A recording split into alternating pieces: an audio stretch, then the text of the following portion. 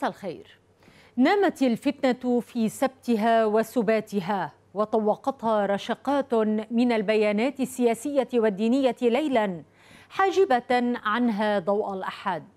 وقبل طلوع الفجر كانت المواقف الصادرة عن المرجعيات تمطر وابلا من القيم والحكم والتعايش وتقيم الحد مع الخارجين عن صفوف الوحدة. ومن لم يتسنى له إصدار بيان الإدانة بداعي النوم استلحق نفسه في صباح اليوم التالي مسطرا أسمى معاني التآلف الوطني العابر للطوائف وحروب المذهبيات. كله لعن من أيقظها. فأكد رئيس الجمهورية العماد ميشيل عون أن الفتنة إن استعرت ستقوض الهيكل علينا جميعا. وحلل رئيس مجلس النواب نبيه بري الأصوات فرأى فيمن يروج للفتنة بين أبناء الوطن الواحد وأبناء الدين الواحد صوتا عبريا ولو نطق بلغة الضاد. وأهاب رئيس الحكومة حسان دياب بجميع اللبنانيين وقياداتهم السياسية والروحية التحلي بالوعي والحكمة والتعاون مع الجيش والأجهزة الأمنية المكلفة حماية الاستقرار والسلم الأهلي. كلام في قمة الحكمة والوعي السياسي وما يعادله من موجبات الوحدة والتلاحم لكن من أيقظها؟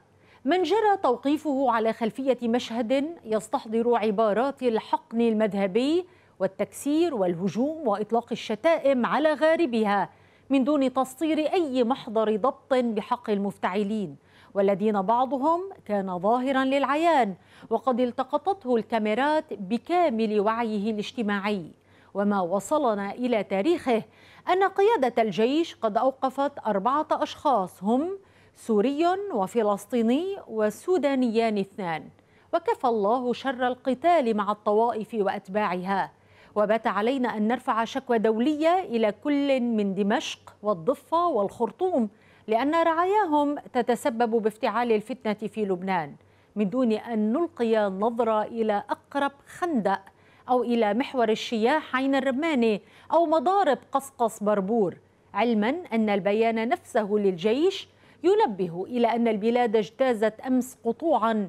كان من شأنه أن يجرنا إلى منزلق خطر إذ إن ما حصل كاد يطيح الوحدة الوطنية ويمزق السلم الأهلي ويغذي الانقسام.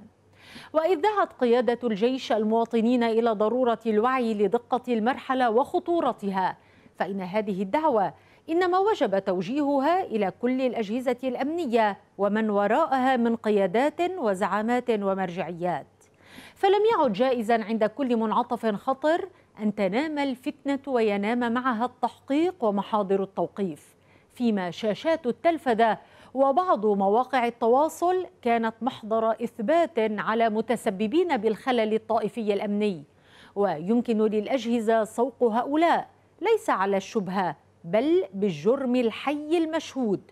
وإذا فعلت مرة فإنها ستعلم الآخرين درسا يعدون فيه ألف مرة قبل أن يفتحوا نعالهم العلوية على الشتائم أو أن يمدوا أيديهم الطائلة إلى أملاك خاصة وعامة أو أن يمتحنوا خطوط تماس طوتها الحرب فلا يكفي أن تلقن الزعامات والمرجعيات الروحية العابثين بالأمن الوطني دروسا ينسونها في اليوم التالي بل إن الدرس الأوفى حقا للوطن لن يكون إلا بالعمل على تنويم الفتنة بالحبس وفرض المحاسبة على الجميع وبالتوازن الطائفي نفسه الذي تتبعونه في كل تعيين وتشكيل وترفيع.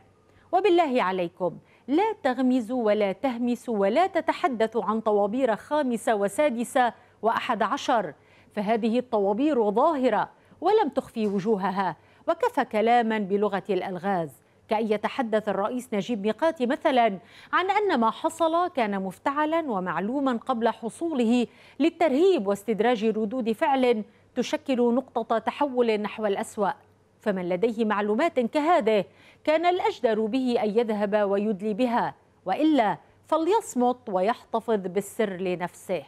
وستظهر علينا غدا أقاويل وتوقعات مماثلة لكن العبرة في التوقيف وفي تقديم الفاعلين للمحاكمة وليس في توفير الحمايات السياسية على غرار تعامل القضاء في ملف الفيول المغشوش وباقي الملفات التي لم تشهد على زج فاسد واحد في السجن.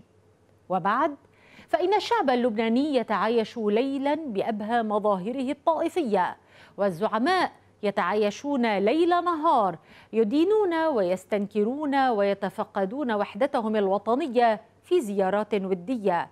زعيم الحزب التقدمي الاشتراكي وليد جملاط في عين التينة والرئيس سعد الحريري بعد قليل في كليمونسو ويلقي كلمة عند الثامنة والنصف بكل ألفة ومحبة.